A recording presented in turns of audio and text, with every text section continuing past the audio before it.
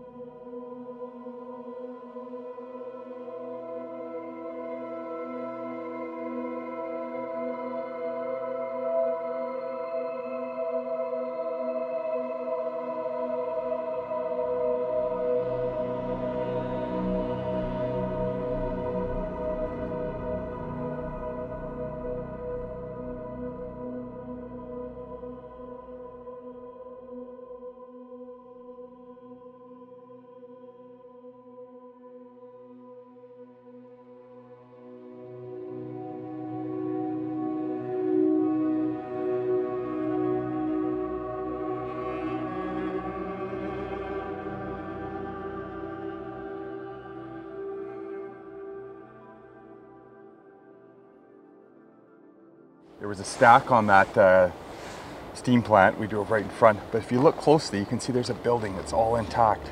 That was the mess hall. So today I'm in the ghost town of Anyox in British Columbia. And I'm here with Mike, Mike the Urban Explorer, good buddy of mine. We came up here to explore this awesome place. We're here with Rob. He's showing us around. This is the mess hall. It's one of our first stops. Still see the old stairs right there. It's going to be a pretty big explore. There's lots here to see. There's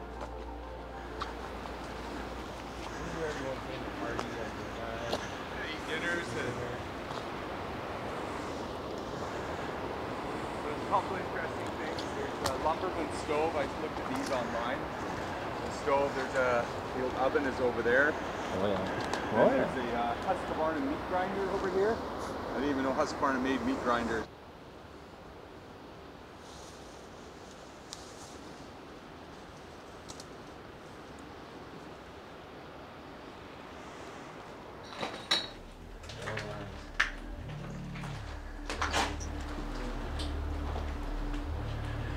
Quite a bit left.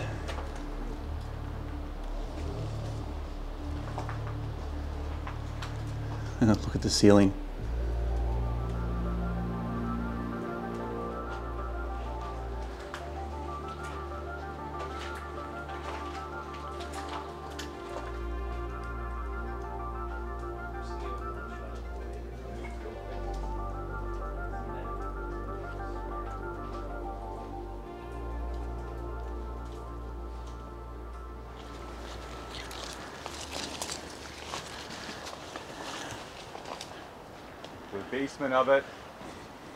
Big building, this one here, massive building, three levels.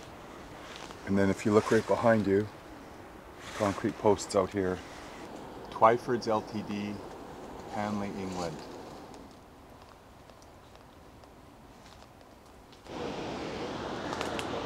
Pretty big structure.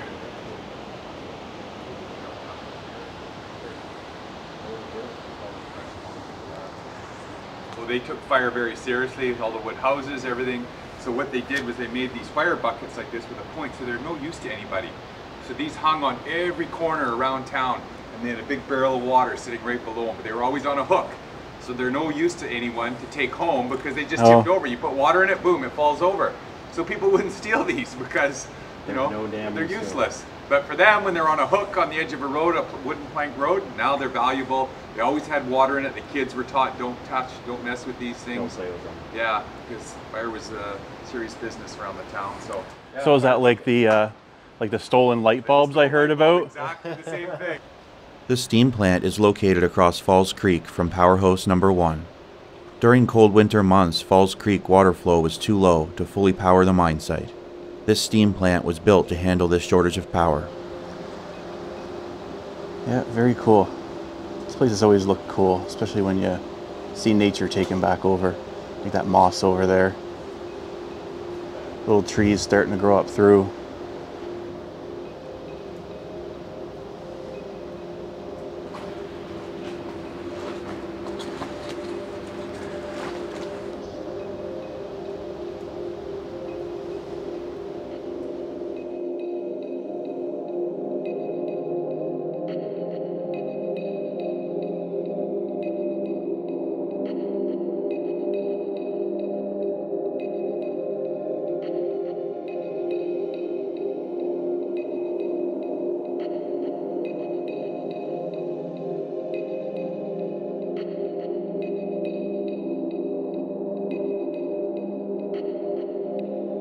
Started our tour, but it's already just amazing.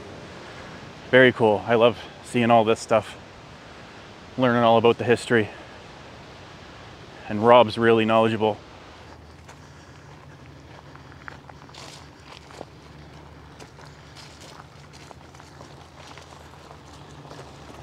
So this section that we're looking at basically was full of like a, a gyrating crusher, a ball mill, a rod mill, a roll mill.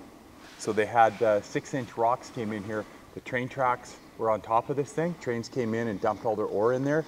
And in there would have been a six inch section of rock that came down and they put it into a powder through a series of mills. So same thing they do today. They got big crushing units, gyrating crushers, balls, you know, big steelies. Yeah. And they put rocks in there, you know, and it just pounds it into a powder. And what the concentrator did was take that powder, so the rock powder, took it up there, and there's these big flotation ponds in here, and you'll see one of them up here. And they basically add oxygen from the bottom, and then they add cyanide and other chemicals, and the cyanide and the oxygen bind to the copper and the gold, all the good stuff, and then float it to the surface. They scoop it off, they dry it, and then it gets sent to the smelter, and they uh, and they burn it off there, and that's how you get your copper.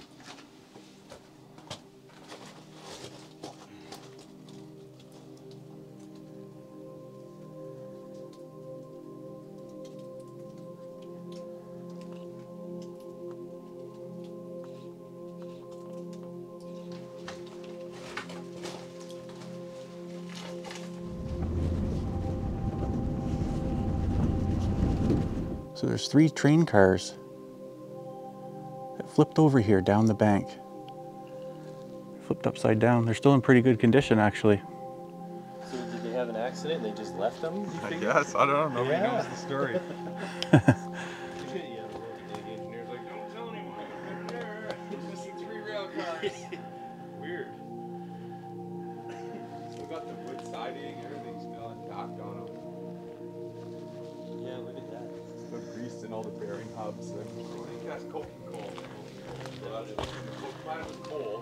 they made a real like high premium kind of coal out of it. They burned off a bunch of stuff.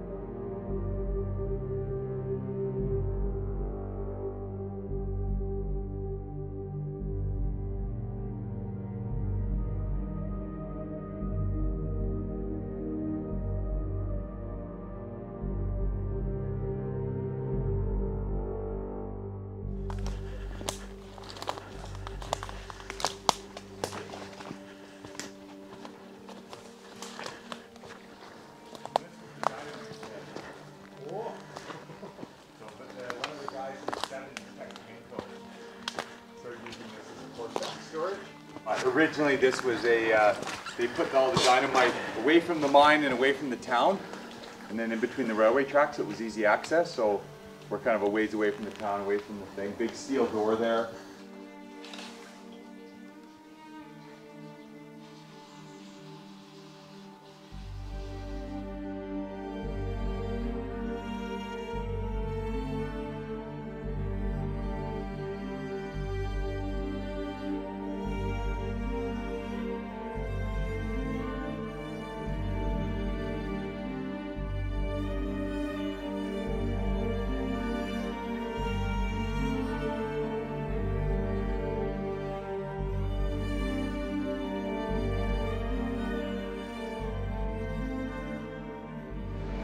Okay, guys, we're continuing on our tour of Anyox and we're going up to one of the highlights here, and that's the dam.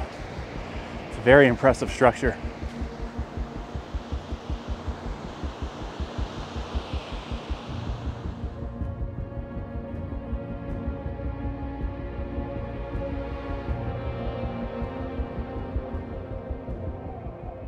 The number 2 hydroelectric dam is located up Falls Creek, roughly 5 kilometers from the town site and around 2.5 kilometers above the original rock and log Crib number 1 dam.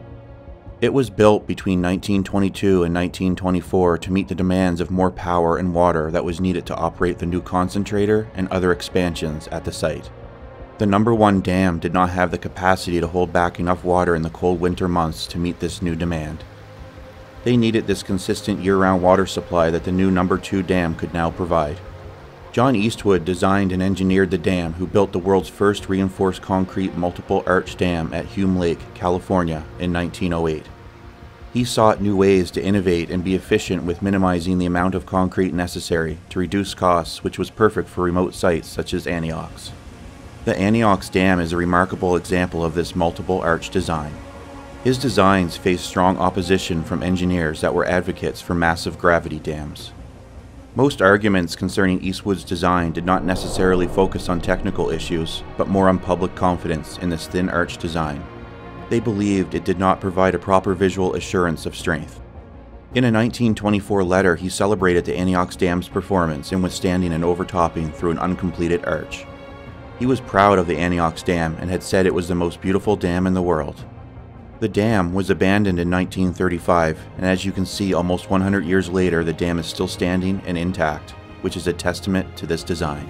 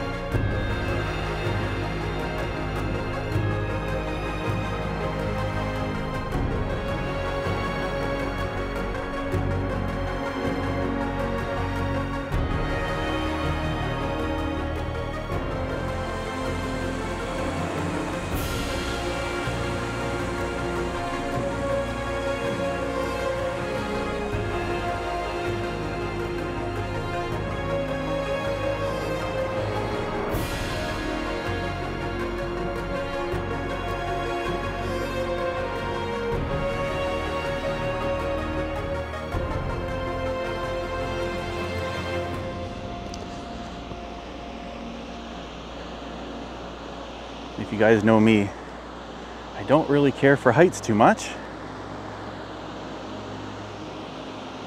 But I actually don't mind this up here.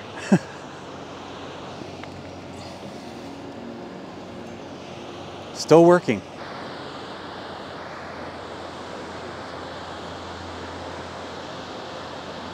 Yeah, it's very impressive for.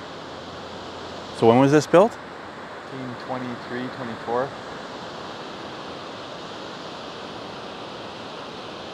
Seems like a very unique design too, just with how the arches are just the curves, isn't it? Or is that? Yeah, it is very unique. This guy was very artistic and thin concrete was his whole thing, like remote places like this, Yeah. as little concrete as possible, but using all the engineering principles.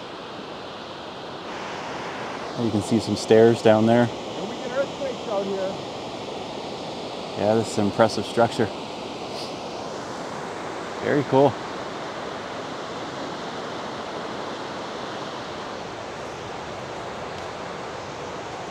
Now we're just walking down to the bottom of the dam. Get a better look at it from down here. Very impressive structure. Yeah, look at the curves and the construction. Very unique looking.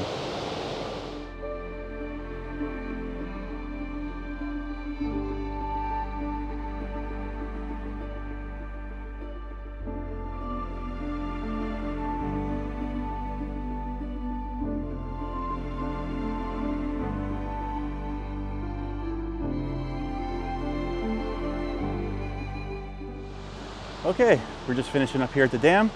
We're gonna head on down the road. Yeah, very cool structure. All of Anyox so far is just amazing. There's so much here to explore. Highly recommend coming here on a tour if you can. So, great stuff. This is one of the tee boxes here. Oh, If you look close, see the little square? Yeah. There's a piece of wood right here. Kind of comes across here. There's that piece. So there's a square tee box. That's cool. Nine holes. Nine holes. Yeah, oiled uh, greens. Yeah, look at that view. So this is the slag pile. It's left over. There's actually a company that comes in here and takes some of this out still. Very impressive building. Especially when you see some of the pictures from when it was in operation. The inside was just pristine.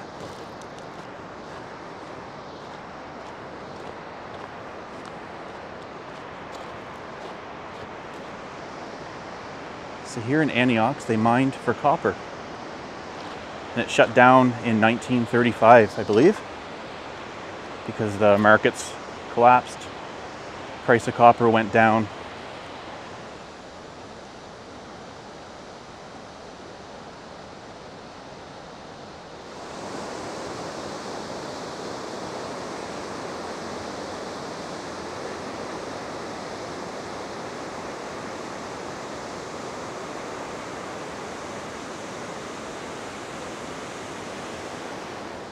Yeah, this building still has some wood on it. So the fire didn't get this that went through in 1942. It pretty much wiped out the whole town, that fire. All wooden structures were pretty much burnt to the ground. There was also salvage operations too that came in and removed a lot of metals.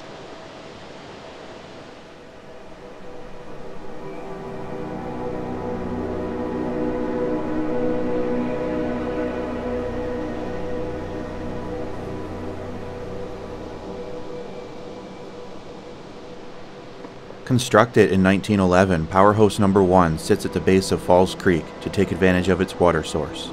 The steep hill behind the building was an optimal location for the water pipes and penstocks. This powerhouse provided electricity for the smelter, mining operations, and the town.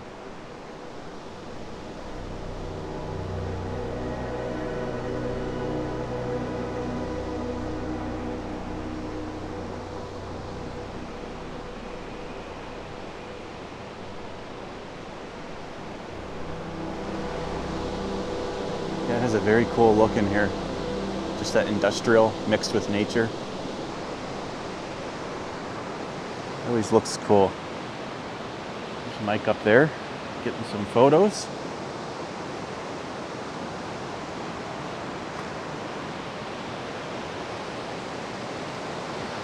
Trees growing up, moss everywhere.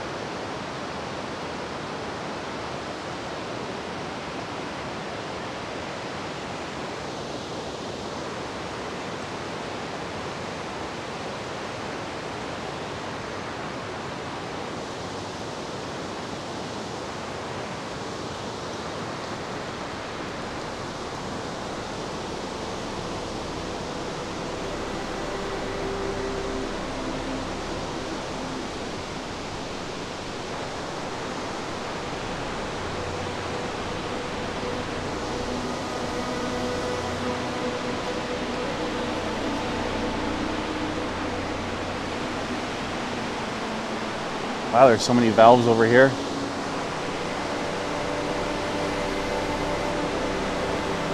It's like you don't even really know where to look here. There's so much stuff.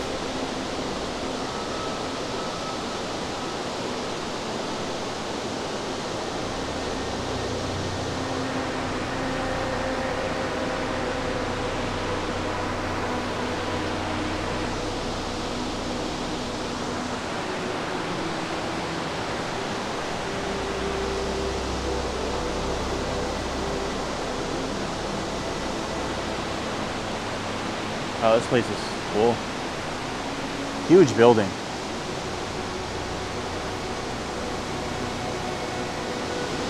Something pretty cool that Rob told us about here. You see the brick on the end here? How there's white brick. And then it changes to the other color. Well, this end here was actually added on at a later date. So they made the building a little bit longer here. I think to fit some of this equipment in here. So this is what's called a Pelton wheel. So water came in there and yeah, spun this generator right here. And back over here right in the middle there, that's actually a vertical one. Good flow.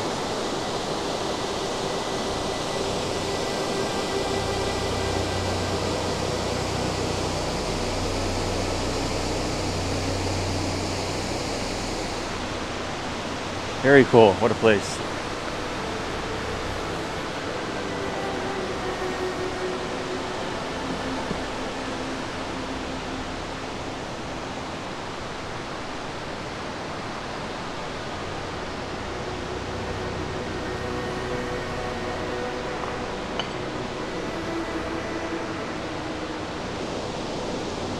There's a 15 ton crane.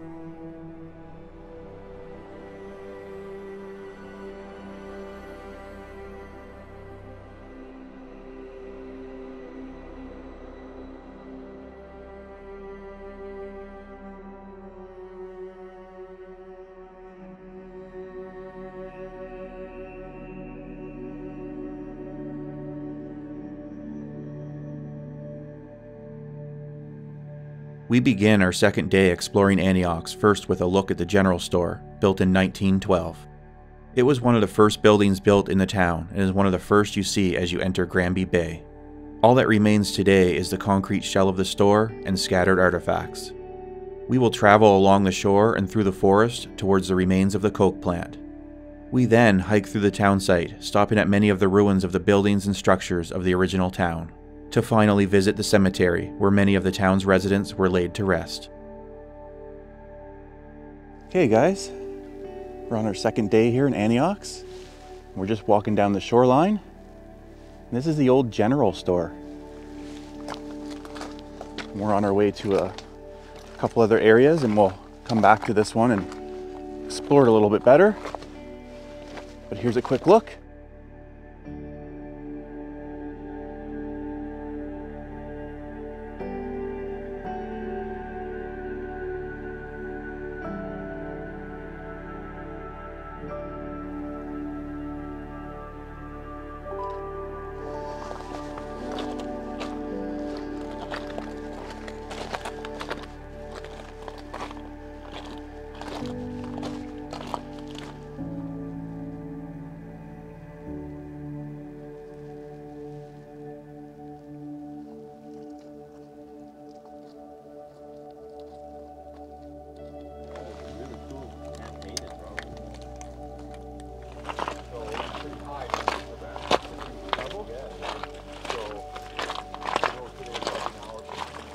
There's all kinds of stuff along this shore. Tons of bottles, pottery. There's just a random spoon. Cool place to come and just look around, see what you can find too. An old axe head.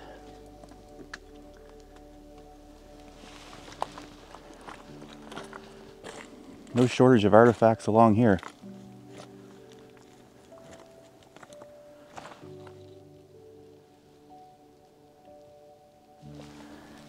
Here's what's left over of one of the fire hydrants. You'll find many of these just scattered all around. It's cool to see them just in seemingly random places, but they weren't at the time.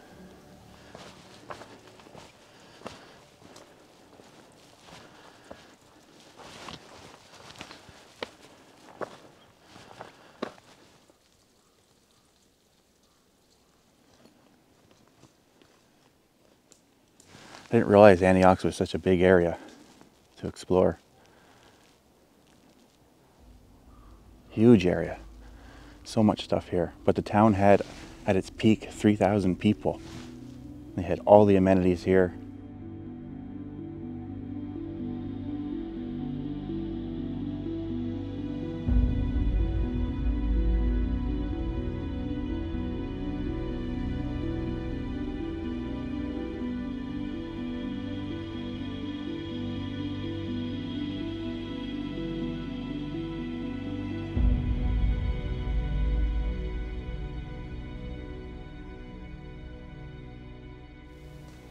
Cool. These buildings just seem to appear out of nowhere. Just everywhere.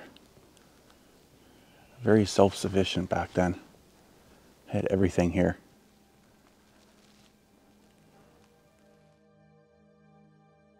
Construction of the coke plant started in 1918 and was completed in 1919. The plant would take coking coal to produce coke for use in the smelter and the auxiliary steam plant.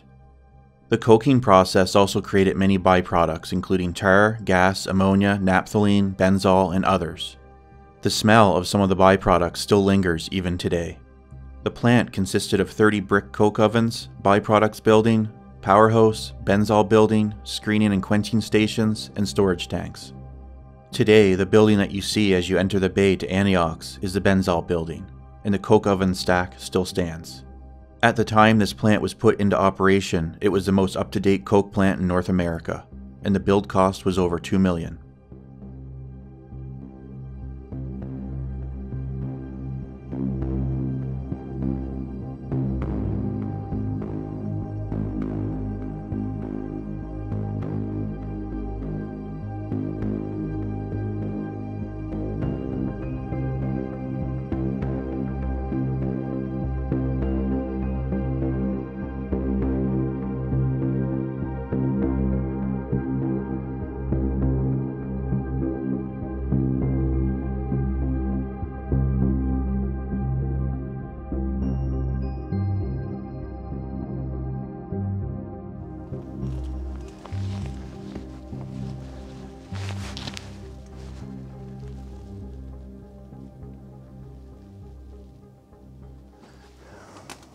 Cool place.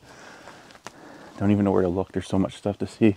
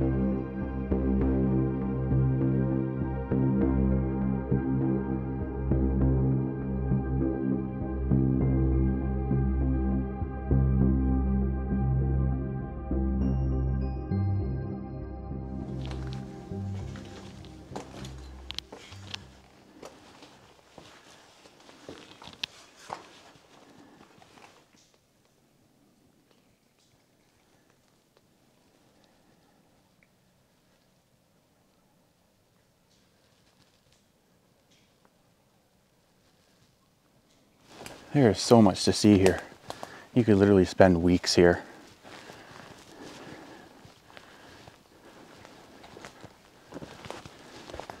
And Rob has spent a lot of time out here and he still finds new stuff every time he comes out. That just goes to tell you, so overgrown with so much stuff, things are just hidden everywhere.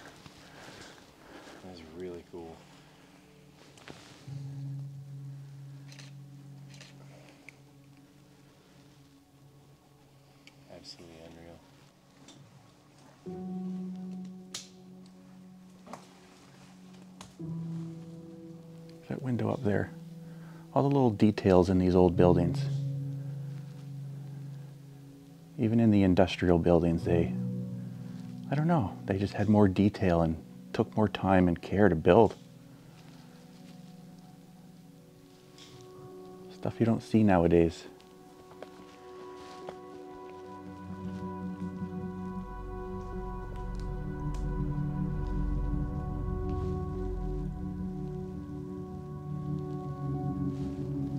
One of the old stacks.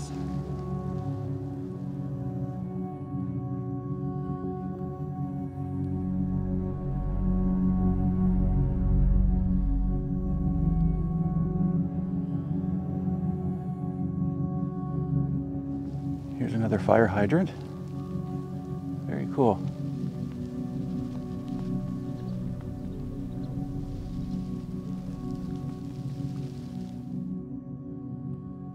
This battery of 30 coke ovens was constructed by experienced bricklayers from Chicago. Coke is produced by heating coal at high temperatures under reduced oxygen conditions for long periods of time. It is primarily used in steel production, but also as a fuel. Yeah, look down there. Goes the whole way down there. Yeah, this looks so cool in here. These are the kind of places I really like.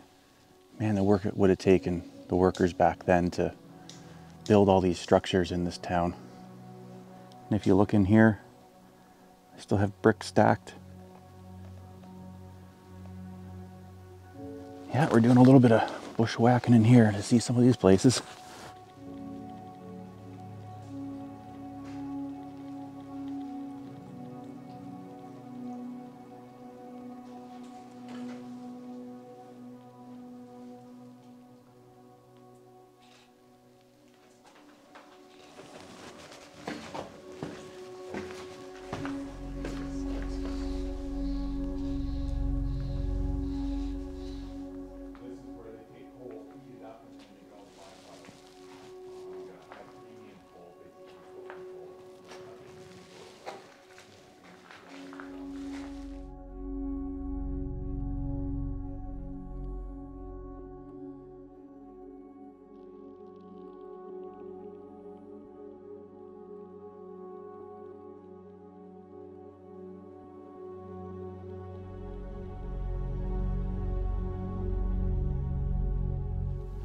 So here we are taking a better look at the general store.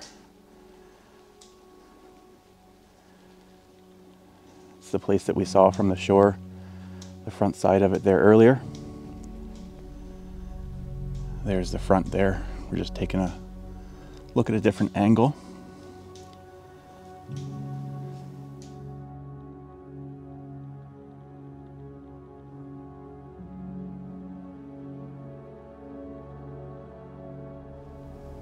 Some saw blades right here.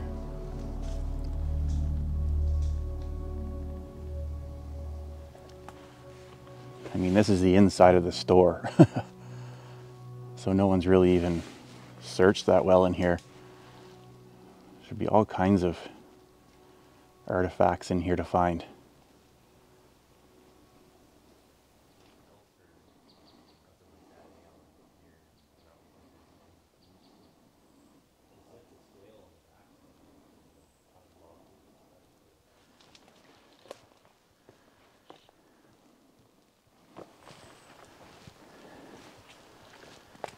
Another fire hydrant.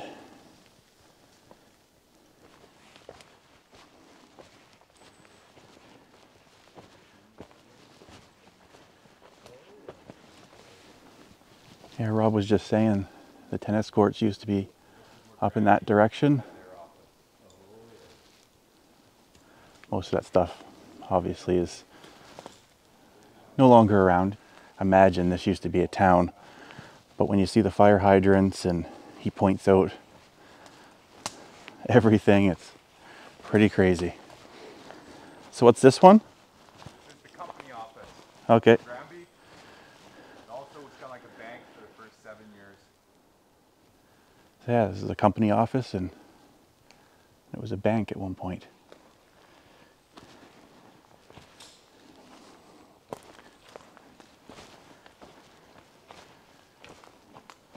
Yeah, look at the detail around some of these windows.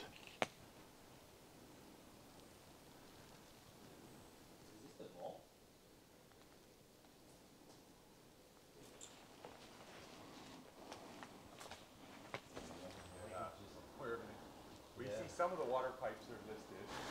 There's inside. A bunch of patients, trolleys, which there's a couple trolleys back here. Bed frame on the side there too. Yeah, remnants of those. Another shot inside. Wow. The hospital was built in 1912 at the entrance to the old mine road, overlooking the docks. It was one of the most up to date for its size in the province. It was completely equipped with the latest equipment and staffed by three doctors. It closed September 1935.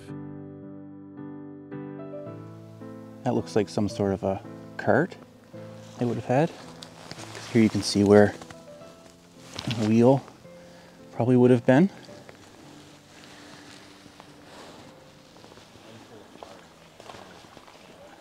It's pretty cool. Fire hydrant.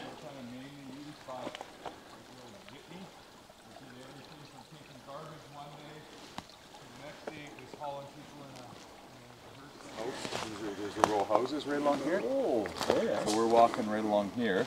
Oh, cool. And this house here was uh, I had a whole pile of photos from this guy. Well, he came on one of our tours, one of the first tours we did. His name was Philip Hodgson. He was from Colorado.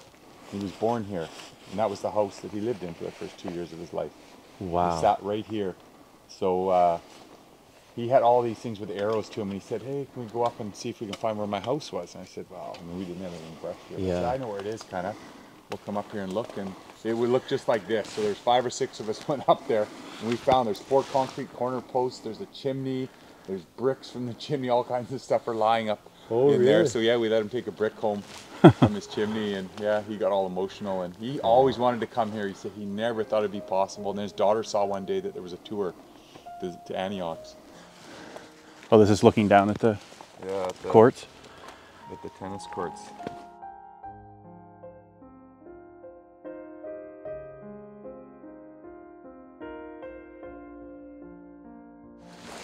This was the Anyox Hotel right here. We're sitting right here. It goes down that way. And that goes that way. It's like an L shape.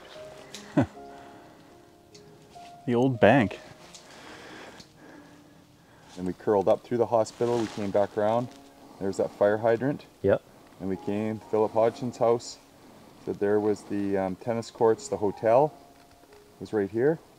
And then uh, we're just right here now. We're gonna go up, actually we're cutting along here because the fire hydrant's right there. Yeah. So we're gonna cut up this little section here called Hill Street Yep. and then had a little street, Grandview Avenue. We're not gonna go here, but there's a house in there.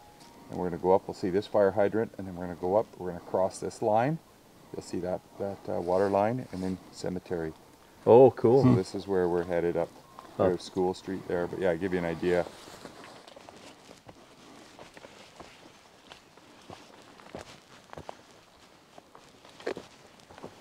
Remember I said we were going to go up this street and there was Grandview Avenue? There was a Oh, house in there. Well, there's the cemetery. Oh, Oh, yeah. Zoom in on it, you can see all the white crosses. Oh, We're yeah. going to cruise up and uh, Quite noticeable on the hmm. yeah. the photo.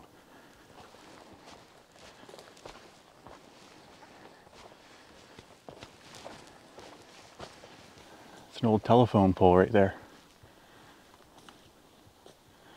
Chaired. Yeah, there's houses all along here. Hard to believe. Another fire hydrant.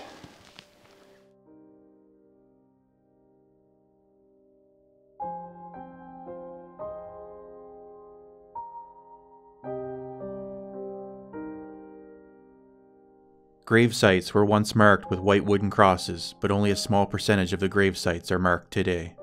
The cemetery records have never been located, and most information was collected from the local newspaper and other sources. Anyox sent many of its workers off to World War I, and those that did return were promised work and would receive a proper burial. He actually fought for the Allied forces under the Serbian flag. I think it's all in Yugoslavian too, eh? Yeah, it is. Each veteran's grave site is marked with a rectangular concrete outline with four corner posts and a commemorative concrete helmet.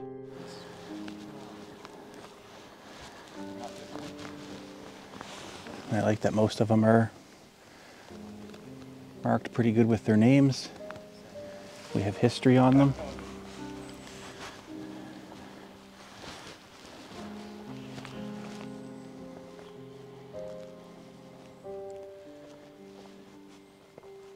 Anyox was hit hard with many deaths by one of the world's worst pandemics, the 1918 influenza pandemic.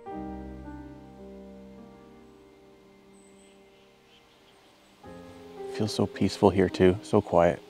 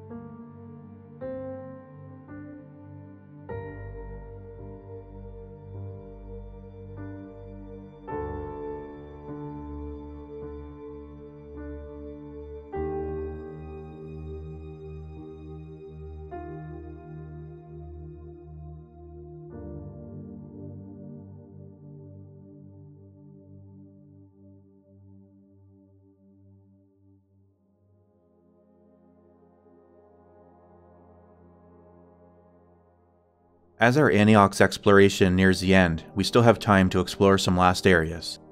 Our trip wouldn't be complete without exploring where Anyox started, the Hidden Creek Mine. We will hike up the creek and go underground through a collapsed opening into a tunnel of the mine. And then one more stop before we pack up and make the one hour journey by boat to our next destination.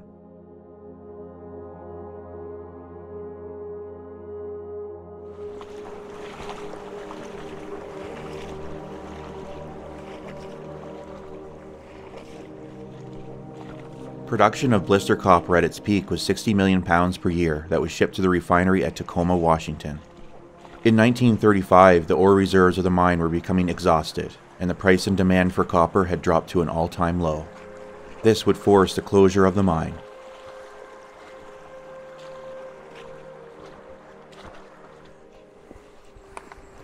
You can just, you'll feel the cool air too when you get down there. Yeah, I can already feel a little bit here even.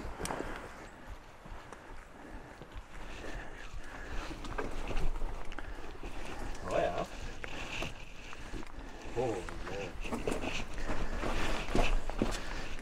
So when ore cars were hinged on one side, Yeah. so they'd have this sitting up against the chute, and the train would come along, and uh, the ore car would hit this, it would ride up, and then when it got to here, it would tip over into the chute. So they had this set up just perfectly so that when the ore cars came by, they just run them by. One side would hit the, of the Yeah. ore car would hit it, it would hinge up, tip over into the chute, and go down to the next level. Oh really? So they invented these, well, supposedly it's called the Granby Tipper. It's all, and then it would roll, but keep going, and then it would tip back again. So as soon as I get going here, you're gonna not see anything because it'll knock right up. So. Yeah.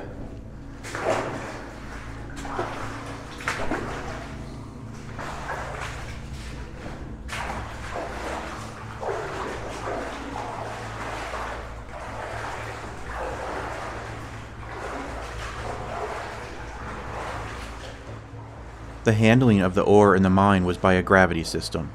Tracks were laid in the mine on the 150 foot level under the ore loading chutes, and also on the 230 foot level, which was the same level as the large crushers. 16 ton electric locomotives were used to haul the ore cars from the mine and over the top of the crushers and then dumped.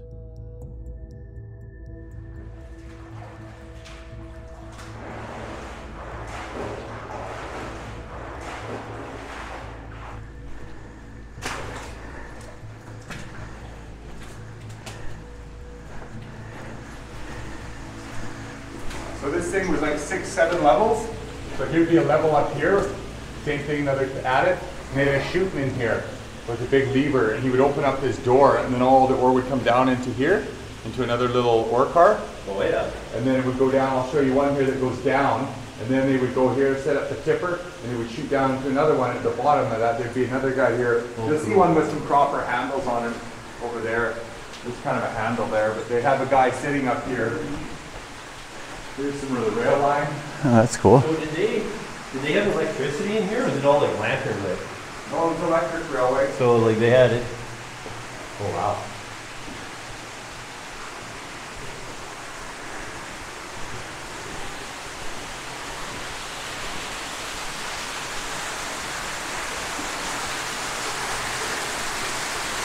So they would have a tipper here, or we come along here, they had to get it down to the bottom level where that crusher was, on the mountain.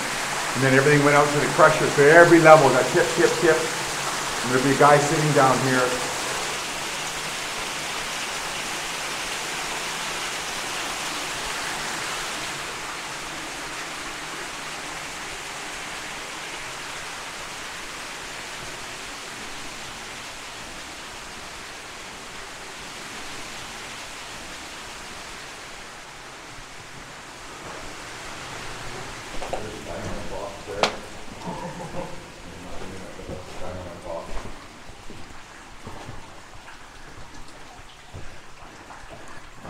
Dynamite box?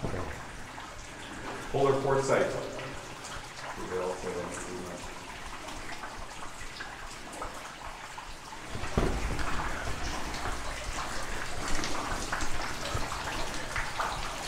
You see all the cables, eh? The electric over here. There's a diamond bit or something. So cool. Yeah, that's the way we went. Four hours that way. Four hours that way. Really? Yeah, half of one level. So you go right or left here and we just did fingers everywhere and then came back out. But yeah, we were up to our waist in sludge. But some spots were bare, like just bare gravel. Really? There's a lunchroom down here, an elevator shaft, there's a little mural of Benito Mussolini and Oh really? yeah, little rooms like cut out, all made of wood kind of thing. Yeah, here's the power line right here. The the.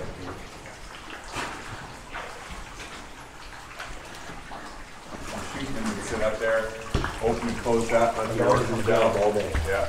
Or we get shot down, then they'd take it from here, go up around the corner, send it down that next one until it got to the one fifty level, which is where the crusher was, and then everything got sent out there. So how how deep did they mine? How was the deepest? Way down? I mean, well, the one fifty, and I don't know what the other one was, like, five, six hundred feet, that's, I mean, above us is that town site. You know, the whole thing where they live is up above, and the whole mine was underneath it. Very cool.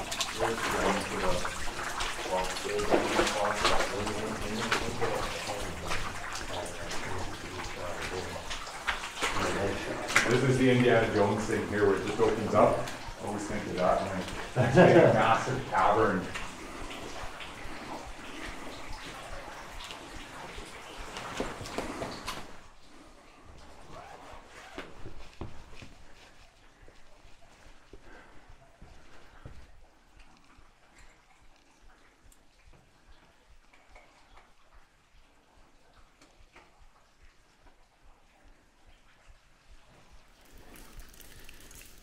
There's Mike way down there.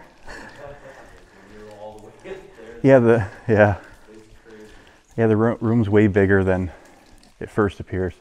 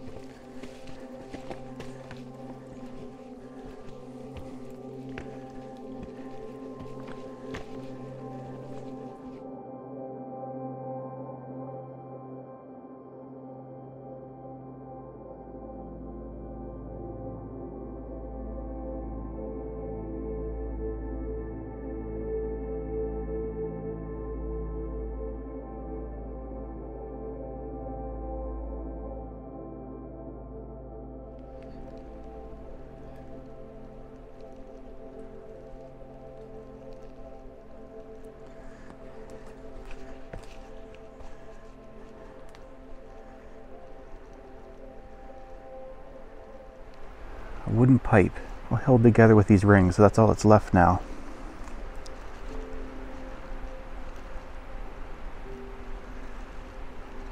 It came from this surge tank right here. The surge tank is 180 feet high and acted as a safety relief on the 6 foot wooden stave penstock to the number 1 dam. If the water pressure at the power house had to be reduced or shut off, the water in the penstock would surge up into this tank, relieving the pressure.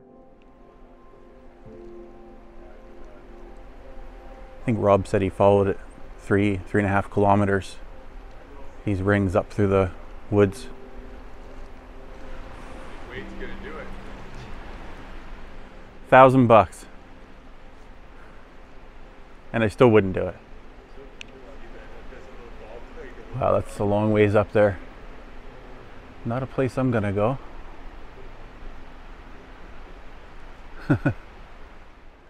yeah, I didn't even know that was a thing, like wooden pipe like this with all these rings. Oh yeah.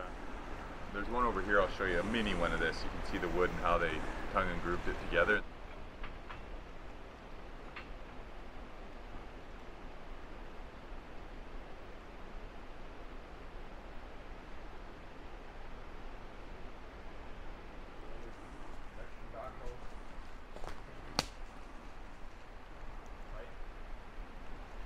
Buried underneath. Oh wow. It goes all the way down to the smelter and the joiner sections. Crazy. Yeah, that's cool.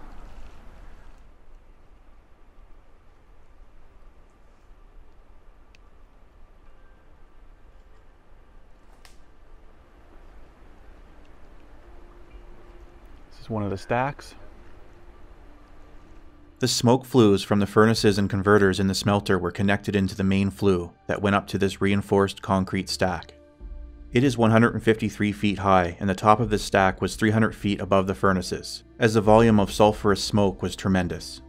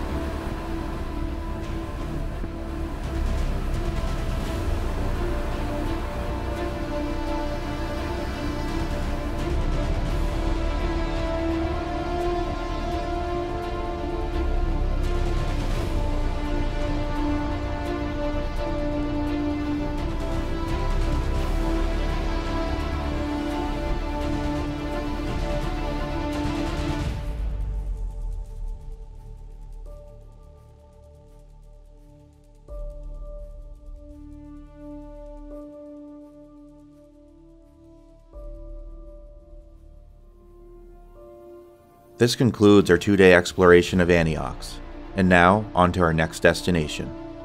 What an amazing and fascinating location, and as a bonus, you can't beat the stunning scenery. I would like to thank my friend Mike and our guide Rob Bryce for this memorable trip. Anyox is privately owned and open to limited people each year. If you're interested in touring Anyox, visit northernbcjetboattours.ca and contact Rob for more details on this and other great adventures. Thanks everyone for watching, and I'll see you on the next one.